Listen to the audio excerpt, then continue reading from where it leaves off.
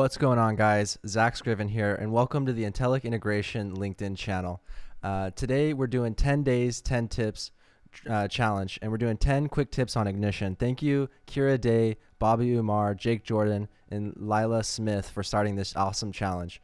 So let's dive right into today's tip, which is converting tag type. And this tip was actually from Kevin McClusky, who I saw earlier this week at the AWWA conference.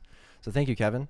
So let's say um, let's say you're developing a project and you want to develop offline.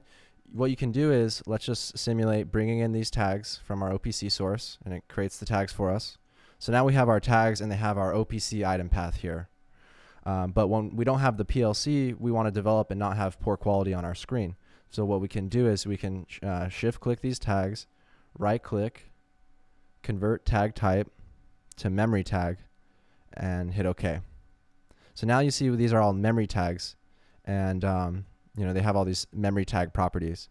But what's what the trick is is if you actually then shift click and you convert it back when you're done developing, you can convert it back to OPC, hit OK, and if you actually go in, it retains the OPC item path. So that OPC item path is is still sitting on that tag even when it's a memory tag.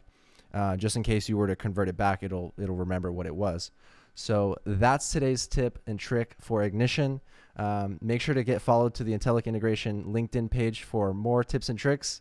And um, if you guys know any tips and tricks, let me know down in the comments. I'm really looking to the community to gather the best tips and tricks and put them into an easily digestible format for you guys and you know have some fun and entertainment along the way too. So I'm looking forward to what tips and tricks you guys have down in the comments and we'll see you guys tomorrow for another tip on Ignition uh, 10 days, 10 tips challenge.